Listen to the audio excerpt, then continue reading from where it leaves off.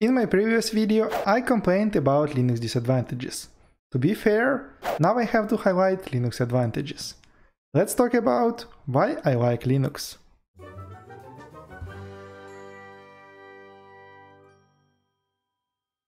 Some statistics. Let's start with some statistics to see where Linux is doing the best. 47% of professional developers use Linux-based operating systems. Linux is used in about 70% of web servers worldwide, while Windows is used only in about 20%. 90% of cloud infrastructure operates on Linux. Linux stands behind the top 500 fastest supercomputers in the world. SpaceX used Linux systems to complete 65 missions so far. About 90% of Hollywood special effects rely on Linux. There are almost 33 million Linux users in the world. This means there is something worth in Linux. Cost, free and open source. Linux is free because it's an open source operating system. It is distributed under the GNU General Public License, which allows anyone to study, modify and distribute the software. I installed my first Linux in 2010, and it was Ubuntu. I was shocked. It looked beautiful. It was different from Windows.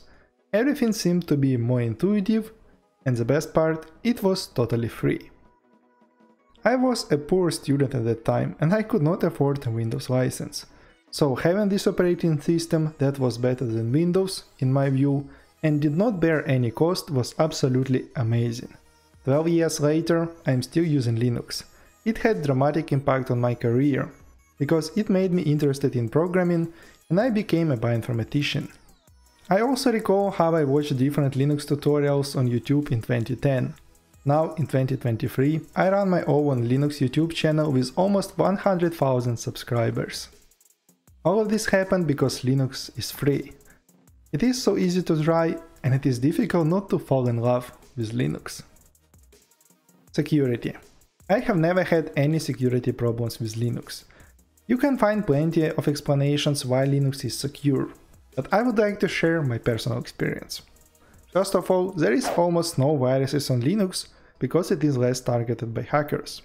I remember when I just started using Linux, I would do regular scans for viruses with ClamAV. I also use Bitdefender free antivirus scanner for Linux. Now I do not do antivirus scans, I only occasionally scan my system for rootkits I have never got a virus on Linux. On the other hand, during my short experience with Windows, I got viruses within 2 weeks without an active antivirus. Second, I always have a firewall active on my system. It is not necessary, but I always say it is better to be safe than sorry. I had my office computer running 24 by 7 with open SSH port, so I could connect to it from my home for 7 years, and it has never been hacked. I took some security measures, such as I did not use the default SSH port and I did not allow root access over SSH. I also use SSH keys in addition to a password for authentication. Third, by design you run Linux as a regular user and you need to type password for any administrative tasks. This reduces the chance that something bad happens to your system. Now Windows follows similar strategy and it asks your confirmation for administrative tasks, but I remember in the past you could run Windows as an admin and anything could get installed on your system without you even knowing about it. Fourth, Linux has a unique developmental model that allows for more rapid and frequent updates than Windows and macOS. I don't remember the details right now, but in 2018 when Spectre vulnerability was discussed a lot, Linux got it fixed quite fast and without strong performance impact, while in Windows this fix significantly slowed down performance. Finally, almost all Linux distros offer encryption of the home folder during the install. This makes your data secure in case your laptop gets stolen. Also, thanks to Linux, I learned to encrypt all my external hard drives, and this encryption is done with free tools. Stability I cannot recall when my KDE Neon crashed last time. Maybe 10 years ago, some Linux distros were not so stable and did crash. I remember when I tried Kubuntu 10.10 with KDE 4. Some of you may not even know how KDE 4 looked like. It crashed within minutes after I installed it.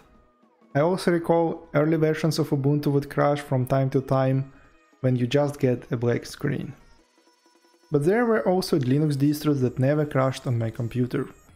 I enjoyed using OpenSUSE in 2011 to 2013. I also used such distro as Pardus Linux. That was the most stable KDE distro at that time. Then I ran Linux Mint KDE for over 5 years. I cannot recall any crash. I ran it in my office for months without reboot, with very heavy computational load. I also used Arch Linux, which I installed and configured totally myself, and it was also very stable. Today, only some apps on Linux may misbehave and freeze. I would kill them and restart, not a big deal. But my experience with Windows was that you get an error message that you cannot close. It fills the whole screen and the only solution is to reboot. No such things ever happens in Linux. Privacy. The open source code of Linux make it fully transparent. Maybe a regular Linux user doesn't have knowledge to check the code, but at least it is possible to check it. And it is regularly checked by knowledgeable people in the Linux community. And I trust them. On the other hand, you don't know what Windows and Mac are doing with your data. There are companies behind some Linux distros, but Linux is still driven by a community. You may remember a privacy scandal when Canonical, a company behind Ubuntu, added Amazon search results in the Ubuntu menu. Canonical tried to make some money of this, but users complained that it compromised their privacy. After some fights, this feature has been removed. If you want the most private Linux distro, I recommend Arch Linux.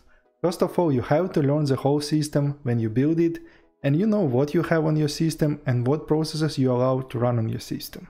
Second, Arch Linux Wiki gives thorough advice on privacy of different programs. Third, if you look at the Arch Linux donation page, it looks old, isn't it? This is because Arch Linux prioritizes simplicity and privacy. There are no third parties on this page. High performance. Linux is the best operating system for heavy computer tasks. I work in the field of computational biology and we use Linux clusters for heavy computational tasks. I also often run some intense jobs on my Linux desktop, and it also handles it pretty well. It can be a job that loads my processor for all 100% and it runs for hours or even days sometimes. No crashes, no errors. Also, Linux is generally more lightweight than Windows, which makes it faster and more efficient on the same hardware. For example, KDE Neon uses 600 MB right after the boot. Windows on the other hand takes more than 2 GB of RAM memory right away. You can also use Linux on old hardware, where Windows won't be able to run. I have a laptop running Debian XFCE for 11 years. It is used by my parents now. Customization. Linux is open source, meaning you have full access to the underlying code and can customize the user interface, applications, and other aspects of the system. Windows and macOS have much less customization options. In Plasma 5 desktop, I can completely change the layout of my panels. You can do similar things in Mate desktop. I can customize the file manager with additional tools in the panel I can also add some custom scripts as a service menu. I can edit some system files, for example to disable GRUB delay and boot my system 5 seconds faster. I can also control how my RAM memory is used by increasing or decreasing swap usage. If you want to learn how computer memory works, there is a brilliant course on this topic that I am taking right now. Brilliant.org is the best way to learn interactively. Every lesson is a bite-sized.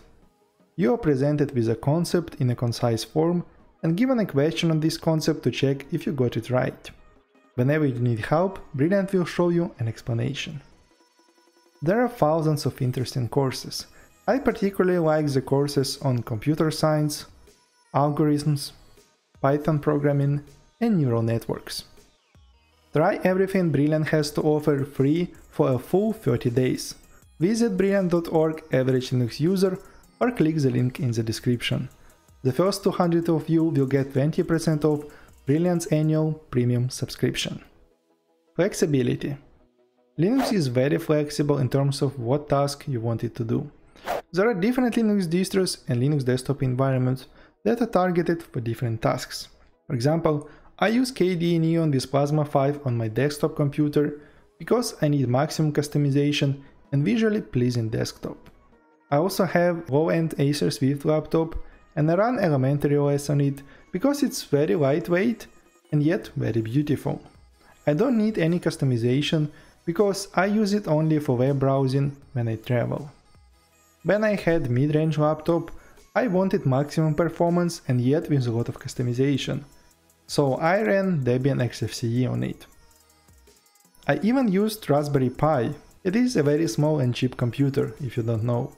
I ran Raspberry OS on it, it's a modified version of Debian. Finally, only Linux offers such a feature as Live USB. You can run Linux from a USB without installing it. Community.